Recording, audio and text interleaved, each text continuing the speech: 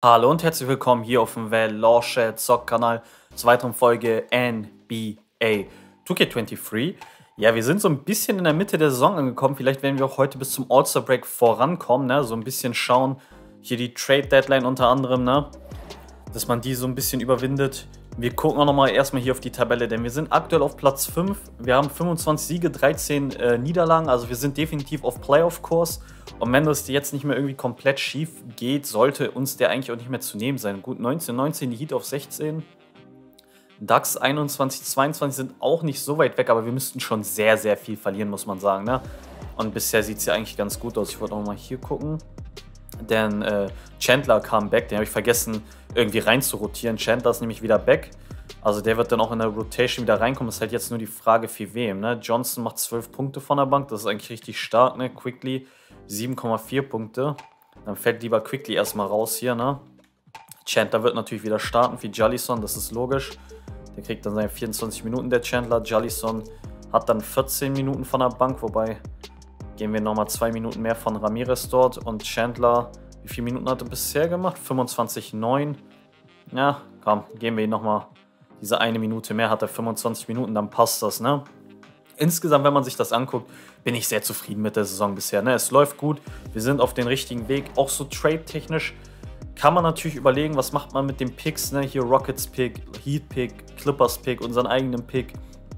Aber wenn man da mal auf die Tabelle schaut, die Rockets werden wahrscheinlich Lottery-Team sein, aber, aber wenn sie eben ein Lottery-Team sind, haben wir nächstes Jahr ihren ungeschützten Pick. Und das könnte ein sehr, sehr wertvoller Pick sein. Dazu haben wir noch den Clippers-Pick, der auch einiges wert sein kann, weil die aktuell nur 28. sind. Da muss man halt wirklich schauen, was ist so das Schlauste, ne? Was machen wir mit diesen Picks? Ich meine, wenn ich jetzt zum Beispiel mal sage, yo, wir gucken mal, was kriegen wir für den Heat-Pick, was kriegen wir für unseren Pick und von mir aus mit dem Lottery geschützten Pick. Was würden wir denn dafür bekommen? Den Clippers-Pick würde ich mal für mich behalten, ne? Ja, wir würden einen John Poole kriegen, das ist mir nicht genug. Das wird es auch hier überhaupt nicht. Warum hat Dings übrigens 0? Das ist halt das Ding, dass man wahrscheinlich nicht allzu viel dafür kriegt, ne? Williams. Nee, Kader Dennis, Madden und Co. Also es sind alles jetzt keine Spieler, wo ich sage, yo, das würde ich machen. Also auch wenn wir gucken auch mal gleich auf die Situation der Rockets, ne? Da werdet ihr nämlich sehen, dass das könnte noch ein super, super wertvoller Pick sein. Das ist alles Schwachsinn, also da werde ich nicht traden erstmal. Wenn man nämlich mal kurz guckt auf die Situation der Rockets, dann klar, die Situation kann sich in jeder Offseason ändern, das ist mir schon bewusst, Leute. Aber wir sehen hier auf jeden Fall mal bei den besten Spielern. Ein Franz Wagner könnten sie verlieren, klar. Sie könnten dann vielleicht einen besseren Spieler vielleicht kriegen, dann wären sie nochmal deutlich stärker. Aber vielleicht können sie ihn auch nicht ersetzen, muss man mal schauen. Oder sie machen mit ihm weiter, dann werden sie nicht wirklich stärker. Dann hast du hier Williams und Josang schon mal hier als deine zweit- und drittbesten Spieler. Du hast hier Sparks, ne? Gut, hier kriegst du schon viel Cap Space frei, muss man sagen. Äh, aber Pittman hast du hier, ne? Chester Pittman, unser Ex-Spieler, Bilan. Also du hast trotzdem nicht so viel Flexibilität. Klar, die beiden äh, Verträge wirst du los. Das heißt, ein Max-Deal kriegst du hin. Aber dein bester Spieler wird höchstwahrscheinlich Jalen Green bleiben. Und ich weiß nicht, ob du dann wirklich mit Jalen Green als besten Spieler und vielleicht ohne Wagner, ohne Sparks, dann es schaffst, einen guten Mann zu kriegen, ob du wirklich besser wirst. Ne? Vielleicht machen sie sogar weiter mit Wagner, weil es keine besseren Alternativen gibt. Also je nachdem, wie die Offseason der Rockets läuft, könnte dieser Pick sehr, sehr viel wert werden. Ne? Da muss man halt wirklich nur gucken, okay, wie läuft die nächste Offseason bei denen. Ich meine, theoretische Free Agents wären Cunningham, Garland, Ramsey, Doncic, Gidey, Jokic, Williamson und Co. Klar, wenn sie solche Spieler kriegen, ne? nicht die Jungen, die sind noch restricted, dann keine Frage, dann könnten sie sich krass verbessern. Aber ob das klappt oder nicht, ist halt immer die große Frage. Ne? Wir gehen jetzt aber auch ein bisschen vor, auch ein bisschen deutlicher. Ich denke mal, zwei, drei Wochen gehen wir auf jeden Fall vor, gucken uns die Ergebnisse an und dann gehen wir auch rein und zocken eine Partie. Ne? Ja, Leute, wir haben eine Verletzungsmeldung, die nicht schön ist. Und zwar Dyson Daniels fällt vier bis sechs Wochen aus. Beziehungsweise er ist angeschlagen, aber ich werde ihn auf jeden Fall rausnehmen, weil ich nicht will, dass er sich irgendwie verletzt oder ähnliches. Das würde ich dann nicht in Kauf nehmen. Ramirez kann ja den Small Forward spielen, wobei man da auch Edwards spielen lassen würde, aber könnte, aber ich lasse dann Wobei Ramirez will ich eigentlich schon, dass er von der Bank kommt. Ne? Er soll eventuell Six Man of the Year werden. Wir haben aber Siervides unter anderem, der dann natürlich dort spielen kann. Daniels geht erstmal komplett raus und ich würde das sogar so ein bisschen aufteilen zwischen Siakam und, äh, beziehungsweise zwischen Siervides, der da einige Minuten kriegt. 24 gebe ich ihm mal. Und ich gebe mal Ja komm, elf Minuten können wir doch auch mal Bobby Portis geben, oder? Zwölf Minuten sogar, ein paar Minuten für Portis. Ähm, können wir da auf jeden Fall mal geben. Dann ist auf jeden Fall der erstmal verletzt. Die Ergebnisse, wir hatten zwei Niederlagen hier, wobei dabei immer Dyson Daniels eigentlich gut geliefert hat, wenn man sich das mal anguckt. Also hier 27 Punkte gemacht. Oder auch hier, wenn man sich den Spielbericht mal anguckt, hat er hier 18 Assists gehabt, komplett durchgedreht, was das angeht. Vier Steals, ne? Und dann die Spiele, wo man gewonnen hat, da war Dyson Daniels sowieso immer mit am Start, ne? Ähm, hier Edwards haben wir 36, ne? Äh, gedroppt, also richtig, richtig stark. Gegen die Sixers war das, glaube ich, ne? Mit Daniels nochmal. Genau, auch hier wieder 22, 13, 9. Also Daniels richtig stark. Fällt jetzt erstmal aus. Aber gut, ich hoffe, wir haben jetzt vier Siege gewonnen. Ich hoffe, dass das auf jeden Fall klappt, dass wir noch ein paar Spiele mehr gewinnen. Ne? Und wir haben die nächste Verletzungsmeldung, Leute. Scotty Barnes fällt ein bis zwei Wochen jetzt aus. Verstauchter Lenker Ellbogen. Also Scotty Barnes fällt jetzt auch aus. Bitter. Ist aber die Chance für Bobby Portis von Anfang an zu spielen. Ne? Dann kriegt auch Pascal Siakam, denke ich mal, ein paar Minuten. Oder Hachimura. Könnte man natürlich auch spielen lassen, ne? Hachimura. Komm, wir geben mal Hachimura von Anfang an die Chance. Dann bekommt er mal, geben wir ihm 24 Minuten. Wir haben jetzt aber einige Minuten noch für Bobby Portis unter anderem. Er kriegt mal 18 Minuten. Johnson, Okongwu, Ramirez. Dann kriegen die beiden nochmal eine Minute mehr, ne? Ja, haben wir auf jeden Fall zwei Verletzte mit Barnes als auch Daniels. Ist natürlich nicht optimal, ne? Aber gut, wir gehen mal von Anfang an wieder rein in ein Game. Wir haben auf jeden Fall die letzten Games eigentlich gut bestritten gehabt, bis wir dann zwei Niederlagen gegen die Ducks, super äh, eng hier, wo Edwards 41 gedroppt hat und dann auch die Niederlage gegen die Pacers. Da hat Maffery nämlich 63 Punkte gemacht. Das hatte ich selber gar nicht gesehen. Alter Schwede. Also Maffery 63 Punkte. Er ist natürlich auch absoluter Topscorer der NBA nach wie vor, ne? Ja, 34,3 Punkte. Dann gehen wir doch von Anfang an gegen die Pacers rein, oder? Auf so ein Duell habe ich Bock. Da machen wir die ersten 5, 6 Minuten. Barnes ist sogar wieder back. Ich behalte aber die Rotation bei, der kriegt dann auch erstmal eine Woche Pause, damit er sich ausruhen kann. Wir gehen ins Duell gegen Marty Smith, Benjamin Flowers, Benedict Matherin, Carl Anthony Towns und Artem Kolomak. Bei uns mit Chandler, Edwards, Sirvidis, Hachimura und Robinson ohne Barnes, ohne Daniels. Also zwei unserer ja, Top 3 Leute fallen da erstmal aus. Wir sind hier im Colosseum of, Amer äh, im Colosseum of America und haben hier mit Anthony Edwards und Co. Und wir gucken mal, wie wir gegen die Pacers hier mithalten können. Ich werde die ersten 5, 6 Minuten spielen.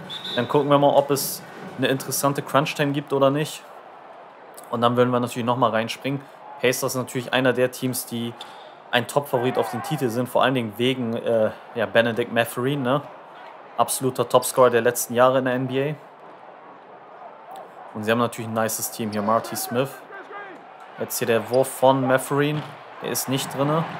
Rhea Hachimura mit seinem ersten Rebound und jetzt hier Anthony Edwards. Anthony Edwards. Boom! Damn! Anthony Edwards zerstört hier gleich mal alles, ne? Im Kolosseum. Hat da gar keinen Bock drauf, dass die Pacers denken, dass sie hier nochmal so gewinnen können. Carl Anthony Towns hier. Macht ihn nicht rein. Robinson mit dem Rebound. Jetzt haben wir Edwards. Edwards, der Pass ist leider ein Turnover am Ende. Der Wurf ist nicht drin. Rebound bei uns. Edwards hat den. Chandler. Ja, Pick and Roll eventuell mit Robinson. Hachimura.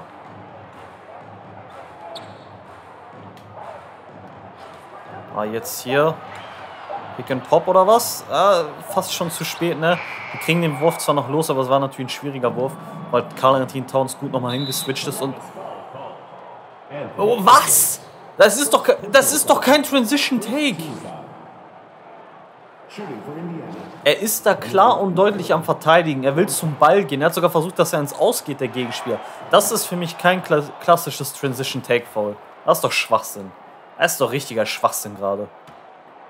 Er hat ihn ganz normal verteidigt, er hat ihn in Transition verteidigt, aber nicht einfach seine Transition verhindert durch ein absichtliches Foul. Das, so sollte die Regel nicht angewandt werden. Ah, jetzt hier Mafreen. Jetzt macht er den natürlich rein, ne? Der beste Scorer der NBA, das kann man ganz klar so sagen, ne? In der aktuellen NBA. Chandler. Geht dann nicht hoch, gibt den Ball ab und dann ist da Robinson, ne? Der dankt den dann rein. Mitchell Robinson, gute Vorarbeit von Chandler. Robinson hat endlich dieses Element der Länge, ne? Auch noch viel mehr als passt dazu, Blue. Er ist dann noch mal einen Ticken länger, ne? Na, schwierig, was Towns davor. Jetzt Smith nimmt den. Am Ende ist der Rebound bei Anthony Edwards. Servides. Jetzt hier Edwards. Edwards. Powert sich durch, macht ihn nicht rein. Ah, bitter. Der hätte durchaus mal reingehen dürfen. Ach, gute Verteidigung von Servides gegen Matherin. Boah. Aber Matherin setzt sich einfach durch und flext noch ein bisschen, ne? Er hat in den zwei Spielen gegen die Legions bisher 44 Punkte im Average gemacht, ne? Also, was sind das bitte für Zahlen von ihm? Also ja, komplett crazy. Edwards, oh, wird weggeblockt, aber gefault. Wird gefault. Kolomak hier mit einem Versuch des Blocks. Fault dann aber Edwards. Und dementsprechend hat der jetzt die Chance, von der Freiwurflinie die zu machen. Macht den ersten. Anthony Edwards mit 25,3 Punkten in dieser Season, 6 Rebounds, ne? Und macht doch den rein. 4 Punkte für Edwards. Jetzt hier Smith. Smith gegen Chandler. Matherin, über den soll es natürlich immer gehen, ne? Towns gegen Hachimura, macht Towns rein. Hat er gut gemacht mit dem Hookshot, ne?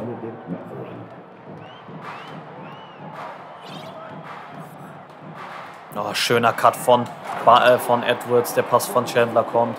Easy, ne? Guter Cut von Edwards und dann dankt er ihn da rein. Da kommt Kolomak auch nicht mehr hin. Wenn er ihn berührt hätte, wäre es ein Foul. Chandler mit dem zweiten Assist. Edwards mit sechs Punkten. Ist so ein bisschen das Superstar-Duell, ne? Ah, Foul. Ah, kein End-One, sehr gut. Kein End-One. Mitchell Robinson Foul war es auf jeden Fall, braucht man nicht drüber diskutieren. Jetzt Kolomak hier an der Freiwurflinie. Ich meine, er ist Ukrainer, ne? Oh, der erste war ganz schwach. Der erste Freiwurf war ja ganz schwach. Der zweite ist auch nicht drin. Ist auch nicht drin. Jetzt Edwards. Und ich glaube nicht, dass Edwards von denen aufgehalten wird. Oder doch? Hm. Foul. Wollte gerade sagen. Ich, ich war gerade ich, ich war gerade gespannt, ob sie wieder Transition Take sagen, aber es war ja auch ein klares Reach-In-Foul.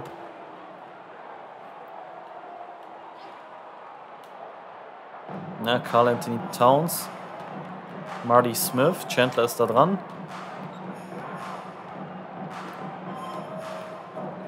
Aber was haben sie vor? Bewegen sich da viel die Pacers. Der Ball geht dann zu Maffrey. Ich steige da zu hoch ab. Das war aber noch gut gestört von Robinson. Und der blockt ihn. Das ist ein Foul, sagt der Ref. Wing Edwards. Das war eigentlich ein Monsterblock von Robinson, ne? Aber der Ref entscheidet halt faul für Edwards, also gegen Edwards. Den macht Kolomak jetzt rein. Jetzt auch übrigens Ramirez für Edwards drinne. Logisch schnell bei zwei Fouls in unter vier Minuten. Und Ramirez, boom, meldet sich gleich mal mit einem Dreier, sagt so cool down, auch wenn Edwards nicht da ist, ne, ich regel das hier. Gleich mal in Transition gelaufen, den Dreier gemacht. Na, was haben sie ja vor? Kolomak jetzt am Perimeter frei, aber da spielt er nicht hin. Der ist nicht drin, okay. Jetzt vielleicht wieder schnelles Transition Game. Stepback von Chandler, Dreier von Chandler, nicht der Ball drin, aber da ist ja Robinson.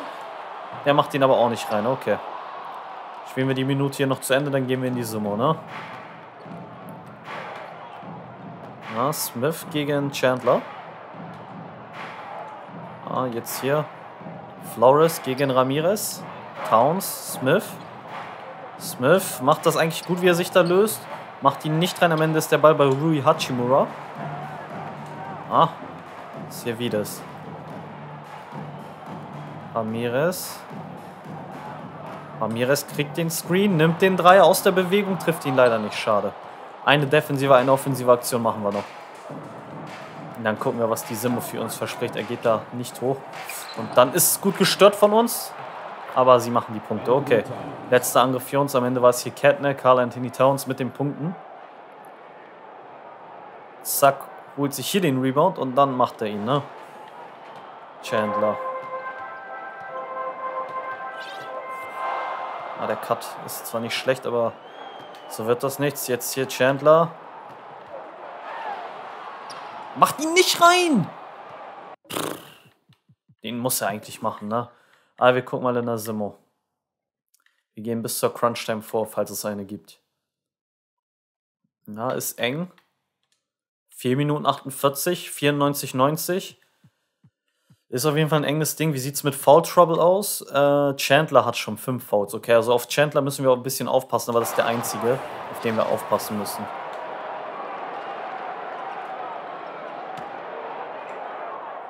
So, Anthony Edwards.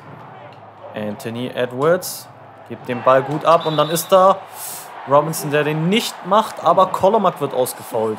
Colomac wird ausgefault. Das zum Thema Foul Trouble, ne?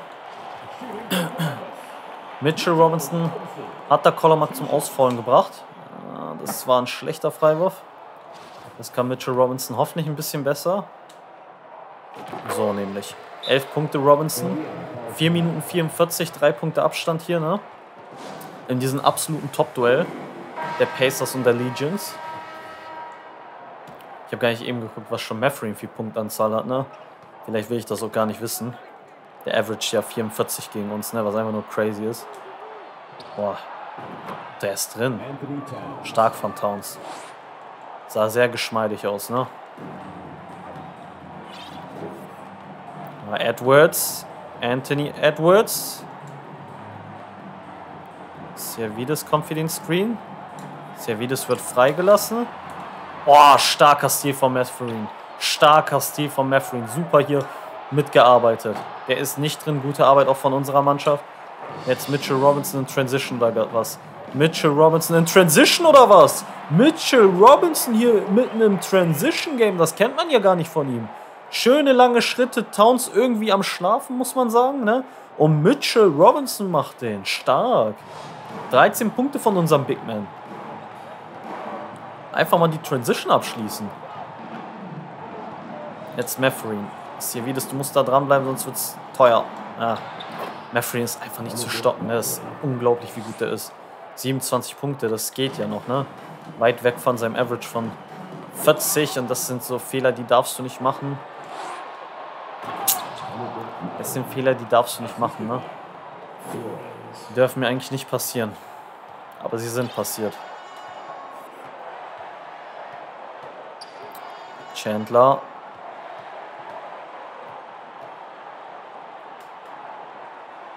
Jetzt hier das Mismatch, also Robinson. Dem, äh, dem machst du. Willst du mich verarschen, Alter? Was ist denn mit dir? Dem habe ich dich noch so gelobt. Jetzt hier Cat. Der ist nicht drin. Robinson hat den. Hachimura.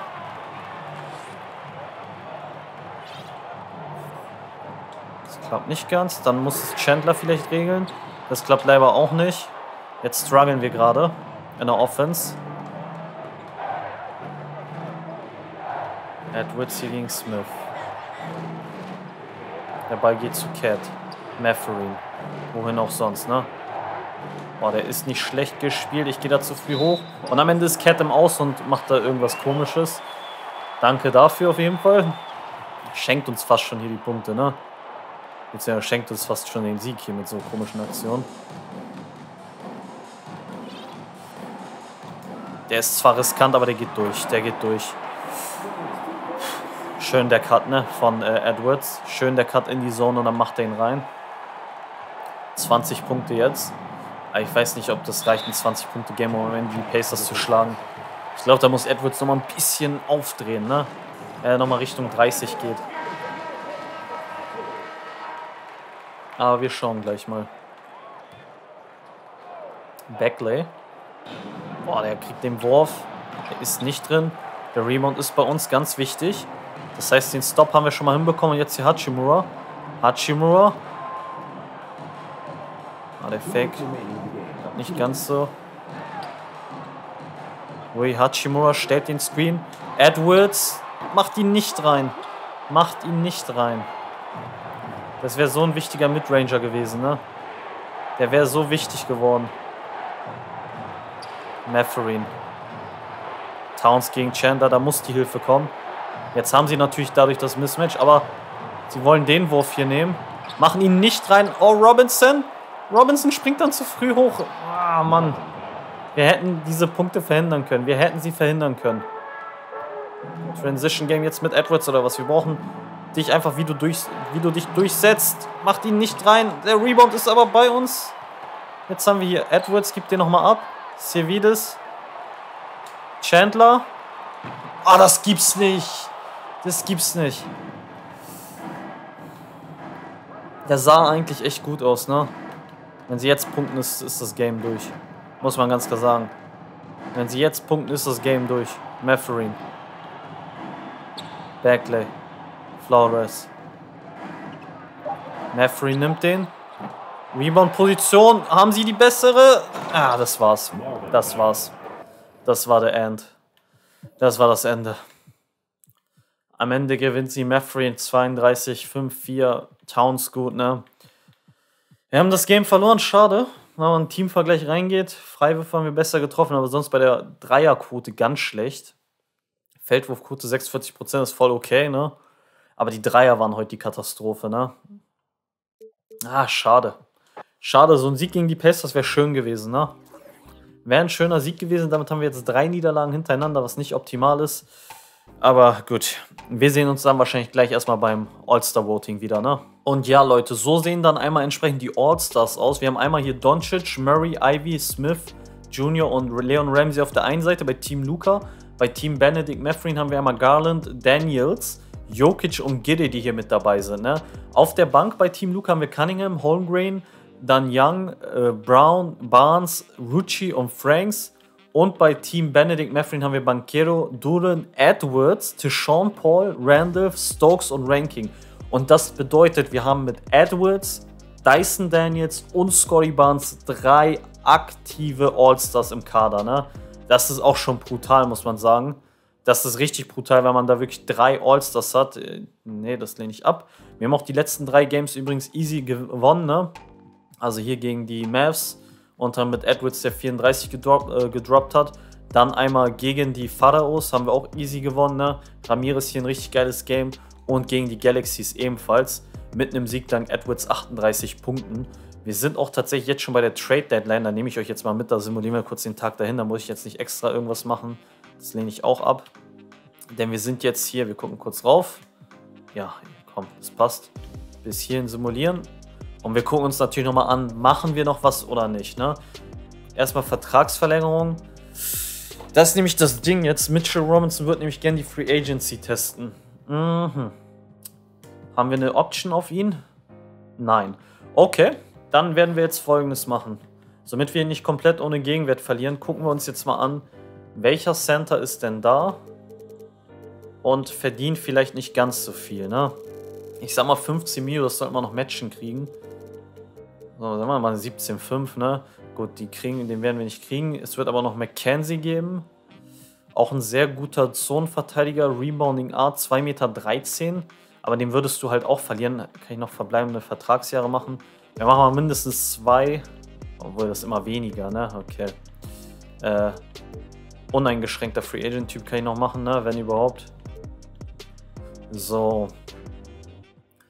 Lofton, Jared, Al Jared Allen wäre natürlich was, ne? Ich meine, sein Contract ist nicht ganz billig, das ist klar. Aber Jared Allen bringt uns eigentlich genau das, was ich haben will. Ne? Er macht momentan 24,2 Minuten, wobei er echt schon eine schlechtere Saison hat. Ne? Ein Block per Game, Rebound 6,1. Hm. Garuba ist hier mit am Start. Der Andre Ayton. Sag ich jetzt auch eher wieder ah, schwierig, ne? Sei es Stewart und Co. Wenn wir jetzt einfach mal gehen, hier mal uneingeschränkt einfach nur mal nach Center gucken. Der mal vielleicht kriege ich noch 20 Mio gematcht. Vielleicht, je nachdem. Mark Williams wäre hier noch am Start. Ähm, was wäre denn so jemand wie Robert? Ja, ist auch wieder kleiner, ne? Ist keine einfache Situation, ne? Gehen mal nochmal weiter. Gehen jetzt einfach auf egal was. Wir gucken mal nach Center-Power Forward, ne? Also die hier fallen natürlich alle raus, das ist klar. Kann ich nicht auch nach Größe? Genau, hier. Wir sagen mal mindestens 2,11 Meter. Mindestens 2,11 Meter muss der interessant sein. Passt dazu, wäre natürlich ein Traum wieder zu holen, ne? Towns wäre hier, Williams, aber das wird dann echt nicht so viele krasse Big Men. Ernsthaft jetzt? Die so groß sind? Gibt gar nicht so viele mit so einer Größe, ne? Was mit 2,8 Meter sonst? Dann wäre Jokic mit da, weil der 2,11 ist. Oder war der eben schon da und ich habe ihn einfach übersehen. Es wird natürlich Evan Mobley geben, ein Giannis Antetokounmpo, aber den werde ich nicht matchen können vom Gehalt her. Cat halt noch, ne?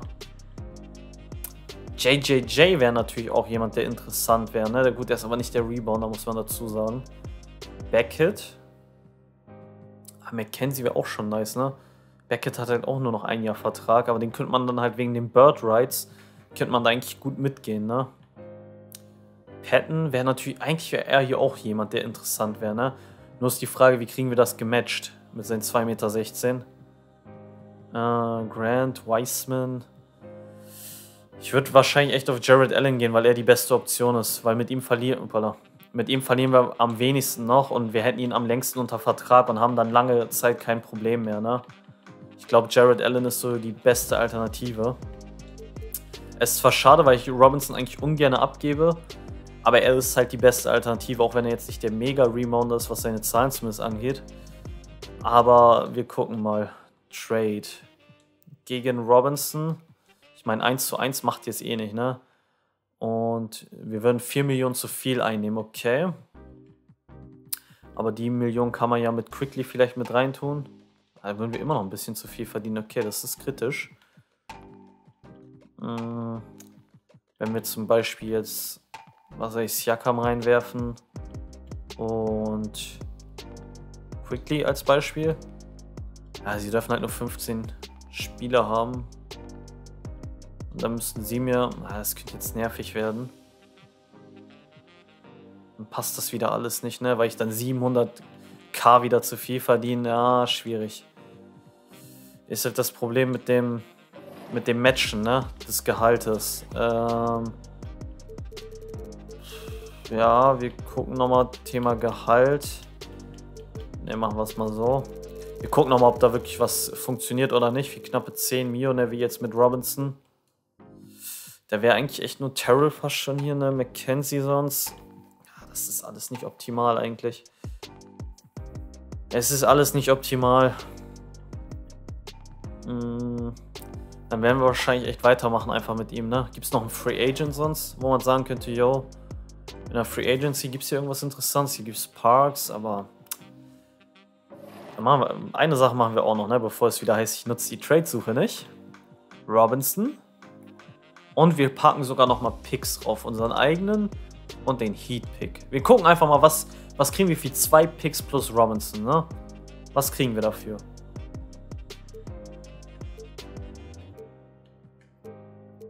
Gafford, aber das ist nichts, was es weiterbringt, ne? Meikudo könnte man theoretisch kriegen. Ah, der ist auch eine Wanderhure, ey, ne? Kein Interesse. Äh, Watson brauchen wir halt auch überhaupt nicht, ne? Das sind halt alles keine Spiele, die man wirklich braucht. Kessler. Aber jetzt, wenn ich so viele Picks und Co. dann abgeben will, nur für Kessler, das ist ja auch Schwachsinn. Patrick Williams, Robert Williams. Ja, wäre eine Möglichkeit. Wie groß ist er denn? 2,3 Meter. Drei. Robert Williams ist nicht der klassische Rebounding Big Man eigentlich, ne? Obwohl, der kann das natürlich, aber ist halt auch 2,6 Meter sechs nur groß, ne? Dann fehlt dir wieder ein bisschen Länge, das macht nicht viel Sinn. Dann macht es wahrscheinlich wirklich am meisten Sinn. Oh, Imani Hamilton Jr. könnte ich kriegen, das wäre nice. Das wäre nice eigentlich, ne? Aber gut, wir haben da kein Need, ne? Wir können ja auch noch mal gucken, ob ich für Jared Allen einen Trade finde. Äh, Trade-Suche. Nein. War bei den Wizards, ne? Jared Allen. 15 Mio im Jahr. Robinson, Chandler und Hachi. Ah, das, das tut aber weh, ey. Also Chandler zu opfern würde wehtun, um ehrlich zu sein. Der macht 14. Ah, das lohnt sich nicht. Chandler dafür zu opfern lohnt sich überhaupt nicht. Nicht für das Paket, ne? Also dann würde ich schon was anderes von euch wollen. Die Andre Ayton noch oben drauf oder was?